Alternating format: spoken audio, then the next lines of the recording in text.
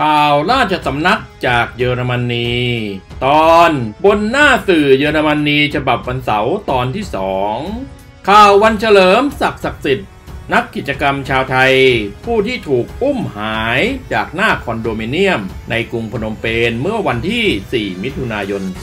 2563 เวลาประมาณ 17 นาฬิกา เริ่มแรกเดิมทีข่าวนี้ไม่มีสื่อหลักกล้านำเสนอ เริ่มจากสื่อออนไลน์ ไม่กี่สำนัก ต่อมาสื่อหลักบางสื่อ เริ่มมีการนำเสนอ ผ่านไปหนึ่งสัปดาห์ ข่าวนี้เป็นข่าวระดับโลกไปแล้ว เมื่อสื่อระดับโลกพากันนำเสนอข่าวดังกล่าว และล่าสุดสำนักข่าวบินของเยอรมนี ซึ่งเป็นสำนักข่าวที่ใหญ่ที่สุดในเยอรมนี มีผู้คนอ่านมากที่ตีพิมพ์ฉบับพิมพ์ในเยอรมนีและหลายประเทศในยุโรป ข่าววันเฉลิมเป็นที่สนใจบนหน้าสื่อเยอรมนี และเขาคนนั้นเฉาโฉถึงขนาดนี้หนังสือพิมพ์บินนำเสนอตรงๆว่าใครสั่งอุ้มวันเฉลิม เมื่อเป็นแบบนี้แล้วเขาคนนั้นยังกล้า แบกหน้าอาศัยหลับนอนกินอยู่บนแผ่นดินเยอรมันได้อีกหรือ เนื่องจากบทความนี้เป็นบทความขนาดยาว เรื่องเล่าข่าวการเมืองออนไลน์ได้นำเสนอตอนที่ 1 ไปเมื่อวานนี้ วันนี้ขอเสนอตอนที่ 2 ต่อเนื่องจากเมื่อวานนี้ จากพาดหัวข่าวว่าเขาหายตัวไปอย่างไร้ร่องรอยในเวลากลางวันแสกๆ ผู้วิจารณ์สถาบันกษัตริย์ ถูกอุ้มหายโดย เขาคนนั้น จริง ๆ หรือ เรื่องราวการอุ้มหายของวันเฉลิมสัตย์ศักดิ์สิทธิ์และข้อสันนิษฐานในการพัวพันที่เกี่ยวข้องกับเขาคนนั้น และหัวหน้าองครักษ์ของเขาจักรภพภูริเดชนำเสนอโดยสำนักข่าวบิน ตอนที่สองสืบเนื่องจากตอนที่หนึ่งกรณีที่วันเฉลิมได้ช่วยเหลือผู้คนมากหน้าหลายตา ให้ข้ามพรมแดนเข้าไปยังเขมร พื่อลี้ภัยต่อไปยังประเทศที่ปลอดภัยกว่าในยุโรปและในสหรัฐอเมริกา ทั้งทั้งที่วันเฉลิมไม่เคยวิพากษ์วิจารณ์สถาบันกษัตริย์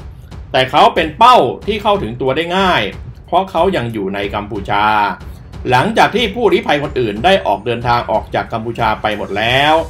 เมื่อสถานการณ์ในกัมพูชาเป็นอันตรายมากยิ่งขึ้นสำหรับผู้ลี้ภัย จุดประสงค์ในการอุ้มหายวันเฉลิม ก็เพื่อสร้างความสะพรึงกลัว ให้กับผู้ที่วิพากษ์วิจารณ์สถาบันกษัตริย์ในประเทศไทย แอนดูแมคเกเกอร์มาเชลได้กล่าวว่า กษัตริย์วชิราลงกรณ์อายุ 67 ปี ผู้ที่เป็นรู้จักกันในชื่อของคิงรามาเทน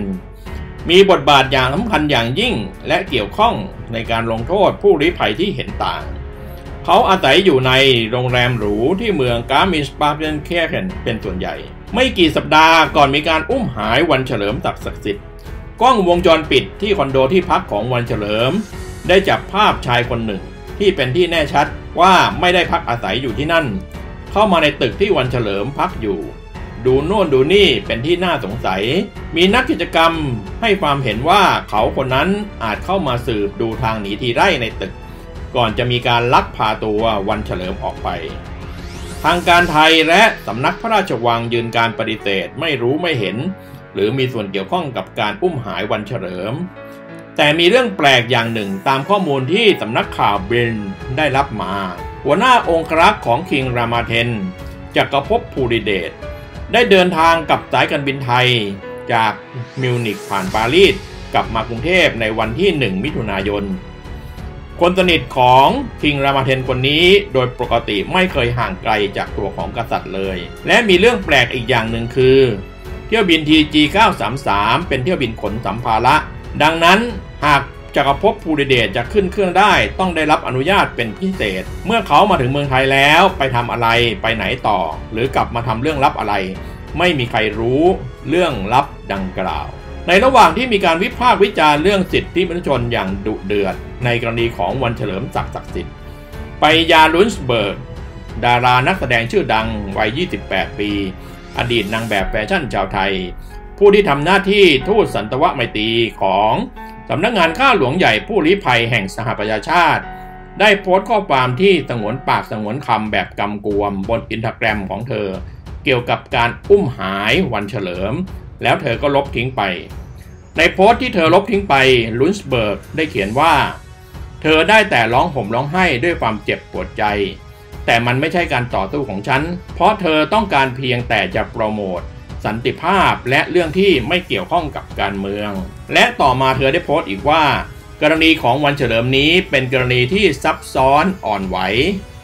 เมื่อทางสำนักข่าวเบนได้สอบถามไปยังปรายาลุนเบิร์กเธอไม่ต้องการแสดงความคิดเห็นใด ๆ ต่อข้อความนั้น เรื่องของการอุ้มหายวันเฉลิมจากศักดิ์สิทธิ์ดูเหมือนเป็นเรื่องร้อนๆทางการเมืองไปแล้ว เมื่อทางสำนักข่าวบินได้สอบถามไปหน่วยสืบราชการลับของเยอรมนีก็ได้รับคำบอกเล่าว่าไม่ควรจะแสดงความคิดเห็นเกี่ยวกับเรื่องนี้สำนักงานหน่วยสืบราชการลับของเยอรมนีแจ้งให้บินทราบเกี่ยวกับบทบาทของคิงรามาเทนรัฐบาลสหพันธรัฐแห่งเยอรมนีไม่ทราบเรื่องอะไรทั้งสิ้น องค์กรเอ็มนัสตี้สากล และองค์กรปกป้องสิทธิมนุษยชนนานาชาติกำลังวิจารณ์ลูกเล่น ที่ทำเป็นไม่รู้ไม่ชี้ ของทั้งรัฐบาลไทย และรัฐบาลกัมพูชาอย่างหนัก แม้จะเป็นข้อเพียงสันนิษฐานว่าคิงรามาเทนอาจจะมีส่วนเกี่ยวข้องกับการอุ้มหายผู้วิพากษ์วิจารณ์สถาบันกษัตริย์ ไม่ว่าทางตรงทางอ้อมก็ตาม คิงรามาเทนก็คงรอดตัวไปไม่ถูกลงโทษ เพราะมันมีกฎหมายที่ชัดเจนในย่อหน้าที่ 20 ของรัฐธรรมนูญเยอรมนีที่ช่วยเอื้อ ในการเป็นประโยชน์ต่อกษัตริย์ไทย ว่าขอบเขตอำนาจทางศาลของเยอรมนี ตามบริบทของกฎหมายนี้ ไม่รวมไปถึงตัวแทนประเทศอื่นหรือผู้ติดตาม ที่ได้รับเชื้อเชิญจากสหพันธ์สาธารณรัฐแห่งเยอรมนี และอำนาจทางศาลของเยอรมันก็ไม่ครอบคลุมไปถึงบุคคลดังกล่าวในย่อหน้าแรก และย่อหน้าที่ 18 19 ซึ่งได้รับข้อยกเว้น จากอำนาจทางตุลาการ ตามกฎหมายทั่วไปของกฎหมายนานาชาติ ข้อตกลงกฎหมายนานาชาติ หรือบทบัญญัติทางกฎหมายอื่น ๆพูดง่ายๆว่า กษัตริย์ผู้เป็นที่ย้อนแย้งคนนี้ได้รับการคุ้มครองคุ้มกันทางการทูตวงเล็บเอกสิทธิ์ทางการทูต โดยที่กฎหมายเยอรมันแตะต้องเขาไม่ได้ การอุ้มหายและชะตากรรมของวันเฉลิมศักดิ์สิทธิ์ยังคงเป็นเรื่องลึกลับที่น่าชงนต่อไป ภายใต้การกดดันของสาธารณชน ทางการไทยในขณะนี้หันมาให้สัญญาว่าจะดำเนินการสืบสวนการอุ้มหายนี้ ในขณะที่ทางเจ้าหน้าที่กัมพูชาอ้างว่ามันไม่ได้เกิดขึ้น พี่สาวและแม่ของวันเฉลิม ซึ่งพักอาศัยอยู่ในจังหวัดอุบลราชธานี ในภาคตะวันออกเฉียงเหนือของประเทศไทย ไม่ได้คาดหวังว่าจะได้เห็นหน้าน้องชายและลูกชายว่ายังมีชีวิตอยู่อีกแล้วแอนดูแม็กเกอร์มาแชลก็ไม่เชื่อว่า เขาจะมีโอกาสได้พบกับเพื่อนของเขาอีกต่อไป การอุ้มหายและคงเป็นการฆาตกรรมของนักต่อสู้ วันเฉลิมศักดิ์ศักดิ์สิทธิ์ในประเทศกัมพูชา เป็นโศกนาฏกรรมที่ย่ำแย่ที่สุดเลวร้ายที่สุดแอนดูแม็กเกเกอร์มาแชลได้กล่าวในที่สุด นี่คือการจบแบบสมบูรณ์แบบของบทความขนาดยาวที่สำนักข่าวบรินได้นำเสนอ ซึ่งช่องเรื่องเล่าข่าวการเมืองออนไลน์ได้นำเสนอในตอนที่ 1 เมื่อวานนี้ และวันนี้ในตอนที่ 2 ทั้งหมดนี้คือเรื่องราวที่เกิดขึ้นเมื่อวันเฉลิมศักดิ์ศักดิ์สิทธิ์ขึ้นหน้าหนึ่งสื่อเยอรมนีฉบับวันเสาร์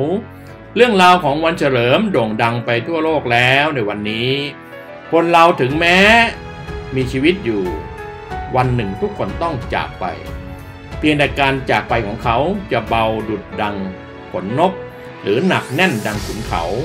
การเวลาจะเป็นพี่บ่งบอก สุดท้ายชีวิตมนุษย์เลือกได้ว่า ยืนหยัดอยู่กับความจริง หรือเพียงต้องการพวงมาลาหน้าไฟ วันนี้วันเฉลิมศักดิ์สิทธิ์ได้ทำหน้าที่ลูกหลานที่ดีของประชาชน เขายืนหยัดต่อตู้เพื่อสิ่งที่ถูกต้องช่วยเหลือคนที่ต้องการความช่วยเหลือและเดือดร้อน เขาไม่ได้ทำผิดไม่ได้ทำเลวร้าย แต่สิ่งที่เขาได้รับ เป็นเพราะชายวิปราชกลุ่มคนที่มีจิตวิปราชวันนี้เขาและคนไทยทั้งหมดโชคร้ายต้องมาอยู่ในประเทศที่มีชายวิปราชมีอำนาจปกครองประเทศ ต่อเรื่องราวดังกล่าวเพื่อนๆ มีความคิดเห็นอย่างไรเชิญแสดงความคิดเห็นด้านล่าง แล้วอย่าลืมกดไลค์กดแชร์กดติดตามและกดกระดิ่งจะแนวเรื่องเล่าข่าวการเมืองออนไลน์สะท้อนความคิดเห็นชาวเน็ตไทยสู่คนไทยทั่วโลก สำหรับท่านที่ต้องการสนับสนุนให้ช่องข่าวเล็กๆ แห่งนี้ ยังคงคือหาและเกี่ยวกราว เชิญสนับสนุนโดยการกดสมัครหรือกดแชร์ เริ่มต้นที่เดือนละ 35 บาท ขอบคุณมากครับ สวัสดีครับ